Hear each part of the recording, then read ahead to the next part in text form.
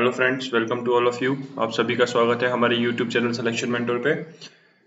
आज set number two का discussion करेंगे। पजल के टॉप 50 सेट्स की बात हमने करी थी। ऐसा बिल्कुल भी नहीं है कि ये सेट्स नहीं आएँगे। ये वे सेट्स डेली बेसिस पे आने की कोशिश करेंगे हम उनको, लाने की कोशिश करेंगे। लेकिन कभी कभी ऐसा होता है कि ड्यू टू सम रीजन नहीं ला पाते। लेकिन हाँ टोटल फिफ्टी सेट्स आपको ज़रूर मिलेंगे। ठीक है, अंकुर सर भी लेके आएँगे और मैं भी लेके आऊँगा। चलिए क्वेश्चन नंबर वन पे यहाँ पे आते हैं हम। क्वेश्चन में यदि मैं देखूँ तो आपको डायग्राम में दिखाई दे रहा होगा, एक सिटिंग अरेंजमेंट चल रहा है, जिस सिटिंग अरेंजमेंट में हमारे पास में यहाँ पे जो कंडीशंस दी हुई हैं और जो इन्फॉर्मेशन दी हुई हैं, वो ऊपर है। देखो, क्या कहा गया है, इसकी बात कर लेते हैं। ये डायग्राम ही है जिसको हमें कंसिडर करते हुए काम करना है, ठीक है? लेकिन उसमें इंफॉर्मेशन कैसे है कि यहाँ पे 12 इंजीनियर्स बैठे हुए हैं, ठीक है? इन 12 इंजीनियर्स के नाम उसने यहाँ दिए हुए हैं।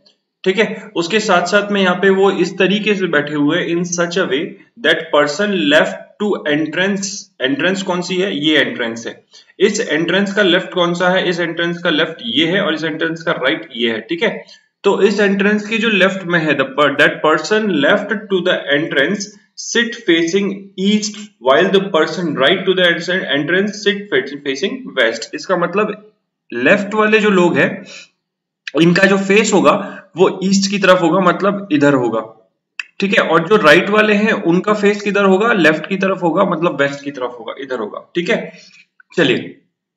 इसके अलावा इन्होंने बोला है कि each person like different laptop हर पर्सन को अलग अलग लैपटॉप पसंद है, और लैपटॉप टोटल है कितने? चार। इससे एक कंक्लूजन में निकाल सकता हूँ कि लोग बारह लैपटॉप चार और रो तीन। तीन रो में चार लैपटॉप इसका मतलब हर रो में ये चारों लैपटॉप का कॉम्बिनेशन आना चाहिए। आना चाहिए। ठीक है? चलिए, आगे और पढ़ लेते हैं। Note not more than three person like same laptop बात क्लियर हो गई? तीन से ज़्यादा लोग। इसका मतलब तीन क्यों बोला? क्योंकि हर रो में एक एक आएगा तो तीन से ज़्यादा बन ही नहीं सकता set all the information are not necessary in the order मतलब क्या है? ऑल द इंफॉर्मेशन ज़रूरी नहीं है कि उसी ऑर्डर में हो। ये ठीक है। No two person in the block facing each other like same laptop ठीक है? एक जैसा लैपटॉप कौन पसंद नहीं करेगा? No two person in the block facing each other अच्छा ये एक ब्लॉक है। टोटल ऐसे कितने ब्लॉक है? छह ब्लॉक है। एक ब्लॉक में दो लोग बैठ सकते हैं। तो no two person in the block facing each other ये दो ब्लॉक जो एक दूसरे की तरफ़ देख रहे हैं, उनमें सेम लैपटॉप नहीं बैठेगा। ये बात हम कर चुके थे। और no two person in the same row no two person in the same row ये पूरी रो है। उसमें भी सेम लैपटॉप पसंद नहीं करेगा। इसका मतलब क्लियर हो गया कि चारों लैपटॉप हर लैपटॉप हर रो के अंदर आएगा, ठीक है? और वहाँ पे वो डिफरेंट होगा। कंडीशन नंबर वन पे आते हैं यहाँ पे हम जरा। कंडीशन नंबर वन पे यदि मैं आता हूँ तो उसने कहा है कि B sit north west of U B north west में है किसके? यू के। चलिए, ये हमारे पास में एक बात आ गई तो इसको बनाएँगे कैसे? यदि मुझे इसे बनाना हुआ तो मैं बनाऊँगा कि बी जो है, वो यू के नॉर्थ वेस्ट में है। मैं कुछ इस तरीके से बनाऊँगा। ठीक है? तो ये इस तरीके से यहाँ क्रिएट किया जाएगा। आगे देखो क्या कह रहा है and both of them sit left side of the corner corridor ये कॉरिडोर है, इस कॉरिडोर का लेफ़्ट कौन सा होगा? यहाँ पे ये दोनों बैठेंगे। तो इनके बैठने का तरीका बहुत सारा हो सकता है। एक हम यहाँ ले लेते हैं, बाकी डायग्राम में नीचे ले लेंगे। अगर यू यहाँ बैठा हुआ है, ठीक है तो यू के नॉर्थ वेस्ट में बी बैठा हुआ है तो यहाँ भी बैठ सकता है बी ठीक है? और एक डायग्राम में यही इसके पास में ही बना लेता हूँ कि इस ब्लॉक्स को मैं इस तरीके से दिखा देता हूँ। ये हमारे पास में ब्लॉक है। इनके अरेंजमेंट भी हम ले लेंगे। ठीक है? ये तीन ब्लॉक यहाँ हो गए और ये तीन ब्लॉक मेरे पास में यहाँ हो गए। मैं डायग्राम साथ साथ लेके चलने की कोशिश कर रहा हूँ ताकि हमें आगे ऊपर नीचे स्लाइड को ना करना पड़े। चलिए, एक डायग्राम ये हो गया मेरे पास, एक डायग्राम ये हो गया कि U यहाँ बैठा हुआ है और B कहा चला जाए? यहाँ चला जाए। ठीक है, और एक और डायग्राम बना सकता हूँ मैं कि U बीच में रहे। तो देखो, वो भी हम बना के देखेंगे। उसके लिए मैं उस डायग्राम को यहाँ ले लेता हूँ। अब की बार मैं इस तरीके से लेता हूँ सेट्स को। ठीक है? ये तीन का, ये तीन ब्लॉक हो गए, और बीच में कॉरिडोर आ गया और ये बचे हुए तीन ब्लॉक हो गए। और इस वाले केस के अंदर U यहाँ बैठेगा और B चला जाएगा यहाँ पे। बात क्लियर हो गई? तीनों केसेस समझ में आ गए? चलिए, आगे कंडीशन पे आते हैं।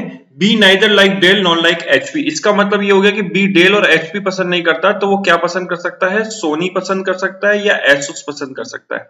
ये दो पसंद कर सकता है।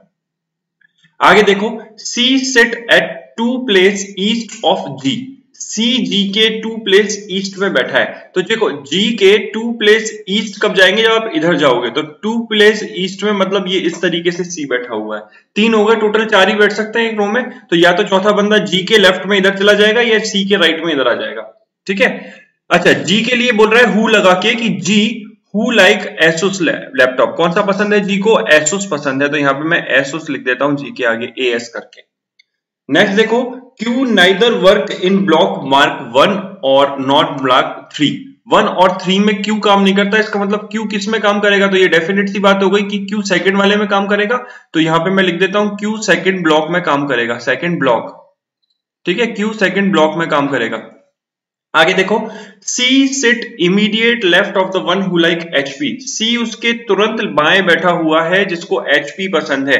तो सी यदि उसके तुरंत बाएँ बैठा हुआ है जिसको एचपी पसंद है तो बाया दाया, क्योंकि ये यहाँ पे अगर आप देखोगे तो ईस्ट और वेस्ट चल रहा है तो उसका लेफ़्ट और राइट ऊपर नीचे इस तरीके से जाएगा। दिख रहा होगा आपको, अगर इधर कोई देख रहा है तो उसका लेफ़्ट और राइट ऊपर नीचे जाएगा।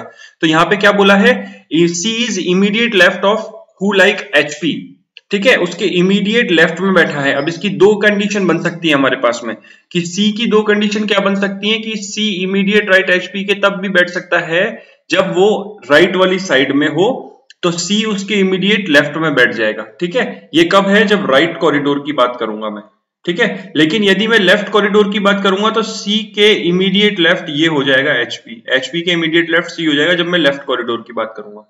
बात क्लियर है? क्योंकि ये इधर देख रहा है इस साइड में तो इसका ऊपर जाएगा और ये इधर देख रहा है तो इसका नीचे आएगा। क्लियर है यहाँ तक की बात? चलिए आगे चलते हैं। तो नेक्स्ट देखो क्या कह रहा है यहाँ पे। हमारे पास एचपी लैपटॉप की बात कर ली है हमने। आगे कह रहा है वो हमसे कि H sit with the one who like Dell H किसके साथ बैठा है? जिसको डेल पसंद है। ठीक है? एच किसी एक ब्लॉक में बैठा है। पहली बात तो ये। और उस ब्लॉक में से कोई सा एक एच है और कोई सा एक डेल है। ये बात क्लियर है? वाईसी वर्षा कुछ भी हो सकता है, इसका उल्टा भी हो सकता है, ठीक है? दोनों में से कुछ भी हो सकता है एच इधर भी बैठ सकता है, लेकिन ये एक ही ब्लॉक में बैठे हैं दोनों साथ में। One who like Dell sit second to the left of T अच्छा जिसको डेल पसंद है, वो सेकंड टू द लेफ़्ट बैठा है किसके? टी के। यहाँ तक क्लियर है? इसको मैं मेंशन कर लेता हूँ कि जिसको टी पसंद है, वो जिसको डेल पसंद है क्या बोल रहा है वो? कि the one who like Dell sit second to the left of T T का सेकंड टू द लेफ़्ट अगर मैं बात करूँ तो टी का सेकंड टू द लेफ़्ट दो कंडीशन में, जैसे यहाँ बनाया था, वैसे यहाँ भी बना सकते हैं हम। क्या बनाएँगे यहाँ पे? कि टी का सेकंड लेफ़्ट अगर मैं टी यहाँ रख रहा हूँ तो उसका सेकंड लेफ़्ट ये डेल हो जाएगा। ये डेल हो जाएगा, ये वाला व्यक्ति। ठीक है? तो ये कब होगा सेकंड टू द लेफ़्ट में? जबकि आप किधर देख रहे हो जबकि आप, जब the Dell is second to the left of T कब होगा? जब ये कहा देख रहे हैं? राइट कॉरिडोर की बात कर रहा हूँ। जब मैं किसकी बात कर रहा हूँ? राइट कॉरिडोर की बात कर रहा हूँ। इधर वाले कॉरिडोर की बात कर रहा हूँ। टी इधर आएगा तो डेल नीचे आ जाएगा। और यदि मैं लेफ़्ट कॉरिडोर की बात कर लूँगा तो उस कंडीशन में डेल ऊपर आएगा किसी पर्टिकुलर के लिए। यहाँ पे कोई एक पर्सन और यहाँ टी आएगा। बात क्लियर है यहाँ तक? चलिए, आगे चलते हैं। B and the one who like Asus sit together B और एसोस साथ में बैठते हैं तो ये वाला एसोस हो गया। बी और एसोस साथ में बैठते हैं तो क्लियर हो गई यहाँ तक बात। ठीक है Q's block is further down to C's block अच्छा देखो, यहाँ डाउन का क्या मतलब है? डाउन का, क्योंकि यहाँ पे सब लोग सेम फ्लोर पे तो डाउन और अप की तो बात ही नहीं होती। तो डाउन का यहाँ पे क्या मतलब है कि एंट्रेंस से आप कितना अंदर जा रहे हो? दैट इज़ कॉल्ड डाउन ठीक है? ये फ़र्स्ट सेकंड थर्ड तो आप सेकंड से कितना एंट्रेंस से कितना अंदर जा रहे हो? दैट इज़ कॉल्ड डाउन तो Q block is further down to C's block इसका मतलब सी ब्लॉक यहाँ कहीं होगा और क्यू ब्लॉक ऊपर होगा। और अगर सी यहाँ होता है तो क्यू और ऊपर चला जाएगा। डाउन का मतलब अंदर की तरफ़। तो Q's block is further down to C's block तो क्यू का ब्लॉक सी के ब्लॉक के अंदर की तरफ़ है but on the opposite side of the corridor लेकिन कॉरिडोर के अपोजिट साइड यहाँ तक बात क्लियर हो गई। तो देखो सी के अगर मैं बात करूँ सी के रेस्पेक्ट में क्यू की तो सी के रेस्पेक्ट में क्यू अब मेरे को सी पकड़ना है। देखो, यहाँ से सी पकड़ो। सी और जी का रिलेशन है। अगर मैं सी को यहाँ बैठाता हूँ तो जी यहाँ नहीं आ पाएगा, लेकिन सी को यहाँ बैठाता हूँ तो जी यहाँ आ जाएगा। ठीक है? अगर मैं सी को यहाँ बैठा तो जी यहाँ आ तो जाएगा, और एसोस भी उसके पास है, ये वाली कंडीशन बन भी जाएगी, कोई दिक्कत नहीं है। लेकिन अगर मैं सी को यहाँ बैठाता हूँ तो जी यहाँ भी आ सकता है, और सी को यहाँ बैठा तो तीनों केस बन रहे हैं। ठीक है? और तीनों केस के रिस्पेक्ट में अगर मैं बात करूँ तो सी यहाँ तो नहीं आ सकता। क्यों? क्योंकि फिर उसके अंदर की तरफ़ डाउनवर्ड्स में क्यों नहीं बैठ पाएगा? ऊपर जाना पड़ेगा इसलिए। और अगर मैं बात करता हूँ सी यहाँ पे है तो Q's block is further down to C's block तो अगर मैं सी को यहाँ बैठाता हूँ तो यहाँ जी नहीं आ पाएगा, और सी को यहाँ बैठाता हूँ तो यहाँ जी आ जाएगा। ठीक है? एक तो केस ये बन गया मेरे पास। तो एक बार मैं सी को यहाँ बैठाता हूँ, और जी अगर यहाँ बैठेगा तो ये एसुस हो जाएगा। ये बात क्लियर हो गई? ठीक है? और Q जो है उसके फर्दर अंदर की तरफ़ है, कहाँ पे है? फर्दर डाउन है अपोजिट साइड में तो यहाँ कहीं भी आ सकता है तीनों में से। ठीक है? और एक यदि मैं एस सी को यहाँ बैठाता हूँ तो जी मेरे पास में यहाँ आ जाएगा एस जो बी के पास वाला है। ठीक है? और उस केस में अगर सी यहाँ पे तो क्यू ऊपर चला जाएगा, ये भी बात क्लियर हो गई मुझे।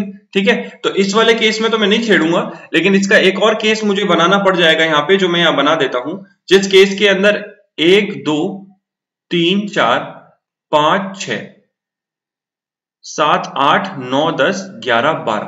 केस यही चलेगा, ये यू होगा, ये एसुस होगा, ये बी होगा, ठीक है? अब यहाँ पे मेरे पास मैं अगर सी यहाँ पे वाली कंडीशन में ले चुका हूँ, लेकिन अगर मैं सी यहाँ लेता हूँ तो एसोस यहाँ आ जाएगा तो सी यहाँ तो आएगा नहीं। अगर सी यहाँ लेता हूँ तो जी यहाँ आ जाएगा। ठीक है, अब सी क्यू की कंडीशन है तो क्यू इन दोनों में से कहीं भी आ सकता है और यहाँ पे क्यू यहाँ पे और इन तीनों में से कहीं भी आ सकता है। बात क्लियर है इस वाले केस के लिए? ठीक है, इस वाले केस की बात करता हूँ तो यहाँ पे अगर मेरे पास मैं बात करता हूँ तो बी के बगल में एसूस बैठा है, ये बात तो क्लियर थी मुझे, लेकिन सी यहाँ नहीं जा सकता क्योंकि इससे ऊपर क्यू नहीं बैठ पाएगा। और यदि मैं और बात करता हूँ तो यहाँ पे अगर मैं आता हूँ तो इस जगह पे सी बैठा ही सकता और यहाँ सी बैठाता हूँ और यहाँ पे जी बैठता है तो यहाँ क्यू आ जाएगा और सी नीचे कहीं भी बैठ सकता है। तो ये वाली कंडीशन अभी क्लियर नहीं है और ये वाली कंडीशन भी क्लियर नहीं है। तो एक काम करते हैं, हम आगे बढ़ते हैं। आगे देखो H sit exactly between M and one who like Asus M और एसुस के बीच में कौन बैठा है? एच बैठा है।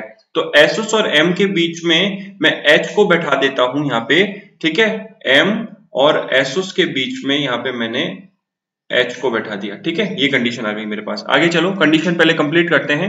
एसुस हु सिट ये आ गया। Asus who sit north west to the D इसका मतलब क्या हुआ? North west to the D इसका मतलब ये ये हुआ कि चौथा पर्सन यहाँ बैठा है, इधर। है ना? और उसी के नीचे कहीं डी है, तभी तो एसुस को नॉर्थ वेस्ट करने देगा ये। एक साथ आएगा। ठीक है? तो वो यहाँ तो आ नहीं सकता अगर मैं इसी वाले डायग्राम की बात करूँ, ठीक है? नीचे वाले में भी नहीं आ सकता। तो ये वाला कॉम्बिनेशन कहाँ जाएगा? एम एच और एस उसका कॉम्बिनेशन चला जाएगा यहाँ पे। और इससे एक बात आपको समझ में आ रही होगी कि इस कंडीशन में फिर क्यू कहाँ बैठना पड़ेगा? यहाँ बैठना पड़ेगा। यहाँ तक क्लियर है? ऐसे इसे इधर चेक करता हूँ तो यहाँ पे एसोस आ गया तो इस वाली रो में आएगा नहीं। इस वाली रो में यू इसलिए आ नहीं सकता। तो अगर मैं यहाँ पे एम और एच को बैठाता हूँ तो यहाँ एसोस आएगा और फिर उस केस के अंदर ये केस बन नहीं पाएगा क्योंकि फिर क्यू कहाँ जाएगा? ठीक है? अब यहाँ बात करें तो यहाँ पे एसोस आ नहीं सकता। इस वाले केस में यू नहीं आ सकता और इस वाले केस में बैठाता हूँ तो एम और एच अगर यहाँ आ जाते हैं आपके पास तो ये एसोस हो जाएगा और उस केस में सी इन दोनों में से कहीं भी नहीं आ पाएगा क्योंकि फिर जी को नहीं बैठा पाएँगे। तो कौन सा केस बचेगा? केवल यही केस बचेगा कि सी को यहाँ बैठाओ, ये एसुस लिख करके इसको जी बनाओ, और अब कहाँ चला जाएगा? क्यू यहाँ चला जाएगा। ये बात क्लियर हो गई। और इस वाले डायग्राम की अगर मैं बात करता हूँ तो इस वाले डायग्राम के अंदर भी मेरे पास में अगर आप देखो तो बी के पास एसुस है। यहाँ पे मुझे ये लिखना पड़ेगा, ठीक है? और इस वाले केस में अगर मैं बात करूँ तो यहाँ तो एसोस आएगा नहीं, यहाँ पे भी नहीं आ सकता। एम और एच को यदि मैं यहाँ बैठाता हूँ तो इसको एसोस होना पड़ेगा। और इस कंडीशन के अंदर यदि मैं चेक करता हूँ तो सी ऊपर नहीं जा सकता, यहाँ नहीं आ सकता, क्योंकि दोनों है। और यहाँ पे भी इस वाले केस में यहाँ आएगा जी यहाँ बैठेगा, यहाँ एसोस होगा। और उस केस में क्यू को यहाँ जाना पड़ेगा। बात समझ में आ गई? तो इस सब केसेस में हमारे पास ये तीन केसेस बचे हुए हैं बस एम और एच के आने से। बात क्लियर हो गई? एम और एच के आने से हमारे पास केवल ये तीन केस बचे हैं। अब चलिए आगे चलते हैं। देखो टी का एक केस यहाँ पे बच रहा है मेरे पास में और बोला गया है कि क्यू सेकंड ब्लॉक में है। तो क्यू अगर सेकंड ब्लॉक में है तो देखो क्यू की ये वाली कंडीशन भी गलत हो गई क्यू की ये वाली कंडीशन भी गलत हो गई। ये ऑलरेडी गलत था, केवल ये वाला बना है डायग्राम समझ में आ रही है बात? मतलब चार डायग्राम गलत हो चुके हैं, केवल एक डायग्राम बचा है। देखो, अब टी की कंडीशन लेते हैं। टी जो है, वो अगर राइट कॉरिडोर में था तो नीचे डेल आ जाता। तो देखो टी अगर राइट कॉरिडोर लेफ़्ट कॉरिडोर में तो टी आ ही नहीं सकता। इसका मतलब ये तो गलत ही हो गया। तो टी अगर राइट कॉरिडोर में तो यहाँ भी आ सकता है और यहाँ भी आ सकता है। दोनों जगह आ सकता है, ठीक है? डेल उसके रेस्पेक्ट में हम चेक करेंगे। और अगर मैं सी की बात करता हूँ तो सी अगर लेफ़्ट कॉरिडोर में तो सी लेफ़्ट कॉरिडोर में है नहीं। तो सी कहाँ पे है? राइट कॉरिडोर और राइट कॉरिडोर में सी है तो सी के ऊपर क्या आ जाएगा? एचपी आ जाएगा। ये क्या है? एचपी बात क्लियर हो गई यहाँ तक?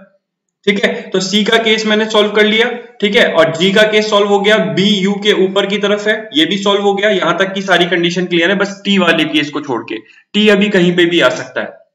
चलो, आगे पढ़ते हैं। आगे यदि मैं इसको पढ़ता हूँ तो डब्ल्यूज block is further down to U's block बात समझ में आ गई? अंदर की तरफ़ है डब्ल्यू यू के। और कहा है? तो W block is further down to U's block but opposite side of the corridor opposite side में है डब्ल्यू अंदर की तरफ़ है, लेकिन अपोजिट साइड में है। तो मतलब इन चारों में से डब्ल्यू कहीं भी आ सकता है। ठीक है? तो डब्ल्यू के लिए ये चार कंडीशन है, यहाँ नहीं आएगा। आगे चलो।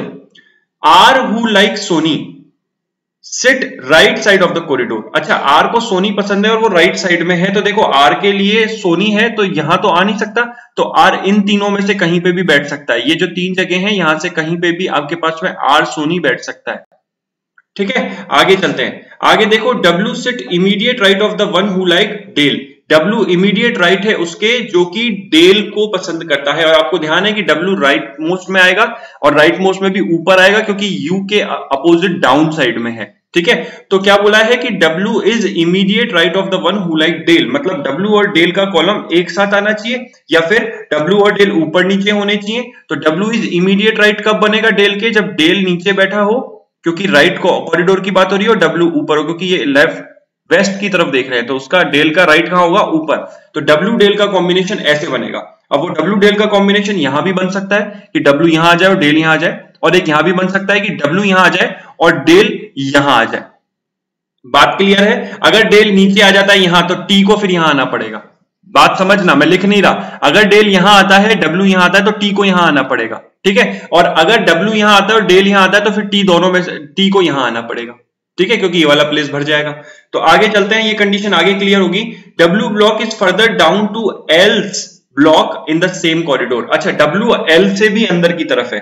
डब्ल्यू एल से भी अंदर की तरफ़ है, ठीक है? एल से भी अंदर की तरफ़ है तो एल इन दोनों में से कहीं पे भी आ सकता है और यहाँ पे भी आ सकता है, ठीक है? तो अभी भी कुछ क्लियर नहीं है। T and the one who like HP in the same block T और एचपी वाले सेम ब्लॉक में। अच्छा अब एक चीज़ समझ लो कि टी और एचपी वाले अगर सेम ब्लॉक में है तो टी को इन दोनों में से कहीं आना था? अगर टी यहाँ आ जाता है तो एचपी यहाँ आ जाएगा। लेकिन अगर टी इधर आया तो ये तो एसोस हो चुका है। इसका मतलब टी यहाँ नहीं आ पाएगा, क्योंकि टी और एचपी साथ में है। तो एसोस को ही टी होना पड़ेगा ताकि एचपी को खाली जगह मिल सके, ये एचपी और अगर ये टी हो गया तो इसको फिर डेल होना पड़ेगा और जैसे ये डेल होगा तो यहाँ से देखो डब्ल्यू अब डब्ल्यू के लिए सिचुएशन क्लियर हो जाती है मेरे लिए, क्योंकि डब्ल्यू अगर यहाँ आता है तो डेल दोबारा यहाँ आ जाएगा और डेल दो बार नहीं आ सकता। इसलिए अब ये क्लियर हो गया कि इसको डब्ल्यू होना पड़ेगा और इसको डेल होना पड़ेगा। यहाँ तक बात क्लियर हो गई सबको? ये डब्ल्यू डेल की कंडीशन भी क्लियर हो गई हमारे पास में। क्लियर है? और W set immediate right of the Dell, ये भी हो गया हमारे पास में। ठीक है आगे चलो। आगे देखो यहाँ पे क्या बोला है। अच्छा एक ये वाला आ रहा था कि W block is further down to the L's block in the same corridor तो एल इन दोनों में से कहीं पे भी आ सकता है और यहाँ पे भी आ सकता है तो तीनों में से कहीं पे भी आ सकता है। एक बोला था आर तो देखो आर सोनी पसंद करता है तो यहाँ इन दोनों में नहीं आ पाएगा तो ये वाला ब्लॉक भी कंप्लीट हो गया हमारे पास आर सोनी। अब केवल एल बचा है इन दोनों में से कहीं से भी आ सकता है। आगे देखो आ, R and H sit opposite side of the corridor R और एच जो है वो opposite side of the corridor है. आर और H opposite side of the corridor है but not not necessary in the same but not necessary sit in the block facing each other ऐसा बिल्कुल भी नहीं है कि वो सेम ब्लॉक में बैठे हों। तो अब मेरे पास क्या आ रहा है? एल आ रहा है। तो देखो एल की क्या कंडीशन आ रही है, वही हमें देखनी है। देखो डब्ल्यूज block is further down to the L's block in the same corridor ये हम कर चुके हैं। यहाँ तक की कहानी सबको क्लियर होगी मेरे हिसाब से।